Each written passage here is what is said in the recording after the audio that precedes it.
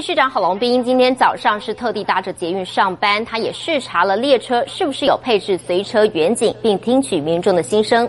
郝市长说，他已经向警政署请求获准支援八十名的保安警力，加以这个台北市现在有一百四十三名捷运警察，要做到至少一个列车配置一名远警，并且要加强机动警力的巡逻。捷运安全在杀人事件发生之后格外的重要。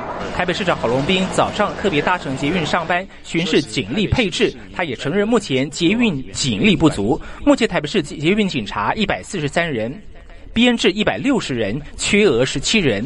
警政署已经答应要支援八十名员警，做到一列车一员警，一位捷运人员。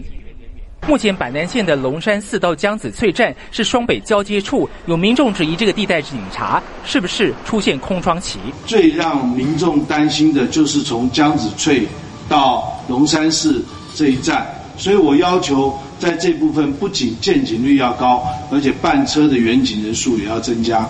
今天像我去看，有两两列车，大概都是有两位远警在车上啊。呃，除了制服远警以外，还有替代役役男。二十一号案发时，当时有乘客按下紧急按钮，但是并没有和列车长谈上话。在之前，司机员有有人按对讲机没有回应的时候，司机员已经去通报行动中心了。那行动中心也已经通报那个江子翠的站长跟那个保全到江子翠站去待命。新北市目前已经做到一列车两名员警。我我想新北市的警力。大概每天会动到五百人次，五百人次的警力，在我们三十四个站体不断的巡逻穿梭。